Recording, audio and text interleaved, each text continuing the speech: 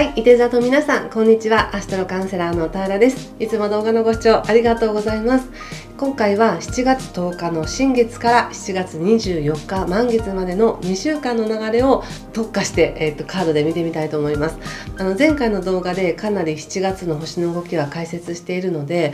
あのそれはまたねあの星の動き何度もあの見てほしいなと思うんですけどもこの新月から満月っていうのはすごくいい区切りの時なんですね。区切りっていうかこうそこで新月で何かを決める意図する。そしてそれがどんどんこう叶いやすくなってくるっていうかこう宇宙のタイミングに乗せることによって現実化しやすくなる生み出しやすくなるっていうのがあるのでこの2週間をあの伊手座の皆さんにとってどんな風なあな気づきや気をつけることが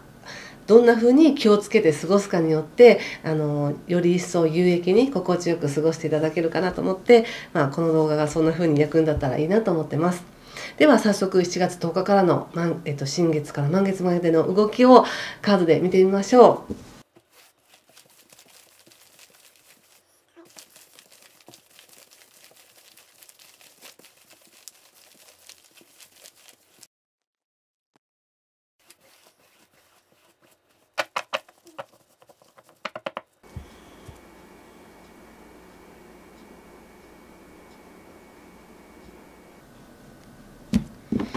はいじゃあ一緒に見てみましょう。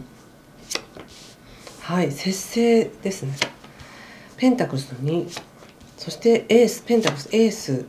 でソード7の逆とカップキングの逆とソードナイト。うん運命のはですね。そして、えー、ワンドの6とカップ7の逆。でオラクルはラバーズですね。うん。まあちょうどえっと、今この7月10日っていうのはその見えないところから与えられる恩恵がすごく強い時なのでご自身では感じてなくてもちゃんと届いてるよとかあのちゃんと評価されてますよっていう時なんですけど何かやっぱりこう確固たる証拠みたいなのってないない時期なので、まあ、そこでちょっと気持ちが揺れやすいかなっていうのもあるんですけどそれでもねカードで見るとあのなんだかんだ言ってバランスよくあのちゃんとこなしてきましたねみたいな感じがあります。ご自身でももしかしたら何かしらの手応えっていうものを感じてるかもしれないですね。いい感じですよ。新しい何かやっぱりね見えないんだけど届いてるって感じがします。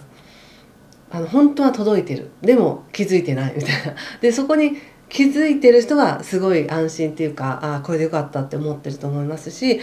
まだそこに気づいてない方っていうのは「え何何どこにあるの?」みたいな感じであのちょっと今ある状況の中での恩恵を探してみるとやっぱり6月末ぐらいから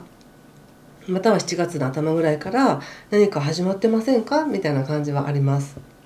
そして今はこのソードの7の逆っていうのはやっぱり自分ではそれをはっきりと確信できないので誰かにこう本当にこれで合ってる？って聞きたくなったりとか周りの人の意見を聞いてうまく合わせようっていうエネルギーが強いかもしれないですね。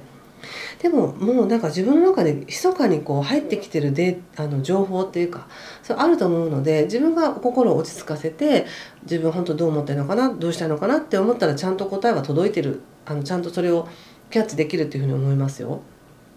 うん、そしてあのこれから先の話なんですけどカップのキングの逆っていうのはうん。あの、ね、ちょっとヒントヒントというか、まあ、私が感じることなんですけどあの今ねちゃんと自分は守られてるし届いてるしあのあの必要なことが起こっている。そしてこれから特に7月22日以降ですけど自分の専門性とかより具体性っていうのが出てくる時にあんまり周りの人とか他の人の意見を聞きすぎると収まりがつかなくなるんですよね。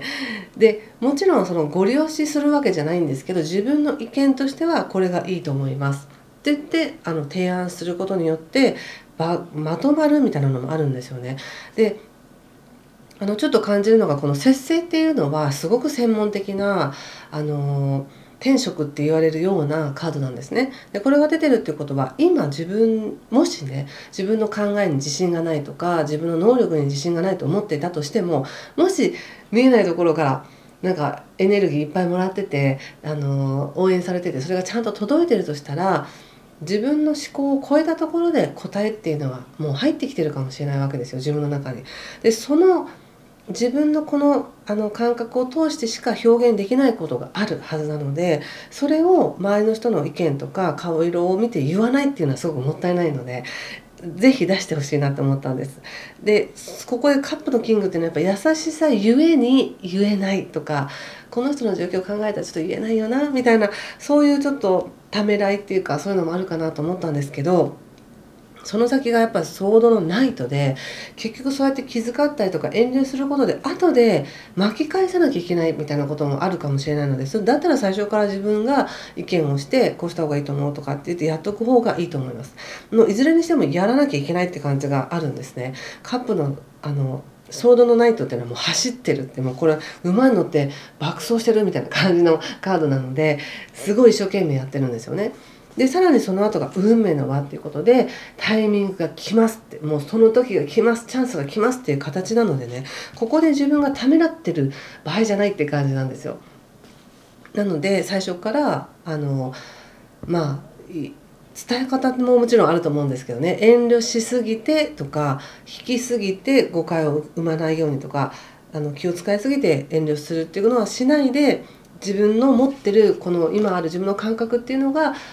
あの特別な感覚なんだっていう感じでアピールしていってみてほしいんですね。そうするとすごくスムーズにいくような気がします。であのオラクルがラバーズの逆なんですけれどもこの一番の意味っていうのは迷いなんですね。迷いでなんで迷うのかっていうとやっぱり経験がないからなんですよね。もう100あの100回ぐらい経験してることってあこれはこうねってすぐ分かると思うんですけどなんか自分の中で初めての出来事に遭遇してるとしたらこれこっちで行った方がいいんだろうかいやこっちだろうかって思うと思うんですけどそこで本当の答えは自分の中にあるはずなんですね。でも前のこととか状況とか考えてると揺れるでそれによって答えを出しにくいみたいなのがあるのであの初めてのことでも自分の感覚を信じてやるっていうふうにしてるともう道はどんどん開かれていきますよって感じがします。そしてきっとねいい知らせを受けると思うんです。これはワンドの6なんですけどあのすごくいい知らせを受けるもしくは自分で分かる。そしてモヤモヤしてたことがはっきりするっていうのがあるので、うん、すごくこの時期意識は聡明ですね。まあ、特にそれが7月22日の方があのどんどんクリアになっていくんですけど、まあ、ピーク7月12日を過ぎたらそのどうかなって思ってたことっていうのもどんどんあのクリアになっていくでしょうし自分の中ではもうはっきり答えが出てるのに気を使って言わないとかっていうのはこの時期しない方がいいと思います。そしてやっぱ一番のあの一番今回このカードを引いて思ったのはすでに届いているっていうことを信じてみてください。すでに自分にはその能力があるとかあの前はできなかったかもしれないけど今ならできるかもしれない。今ならわかるかもしれないっていう感覚でやってみてください。なんか見えない応援が届いている感じがするのでそんな風にあのちょっと想像してやってみてください。それが今回の一番のメッセージでした。はい。ちょっと最後にキーカードだけ1枚引かせてください。うん。まあ、もしねあのこういったリーディング一緒にしてみたいなとか勉強してみたいなっていう方はあのタロットフレンズっていうコミュニティをやってますので是非概要欄から詳しい情報をチェックしてみてください。実はこん今あの今日の午前中もねその勉強会をやってたんですけどはい。じゃあえー、っと7月10日からの伊手座さんですね。ソードの8です。これはねやっぱ自分を縛ってますね。あのまだまだじあの常識とか、まあ、もちろん常識ある程度の常識とか、ね、あのないと世間では生きていけないっていうのは思うかもしれないんですけどあのちょっと自分を縛ってる気持ちっていうのが強いかなって感じがしたのでせっかくあるのでねいいいい感覚が今。ないって想定しちゃうとなんか周りの人に聞かないととかあの状況を見て確認しないとってなると思うんですけど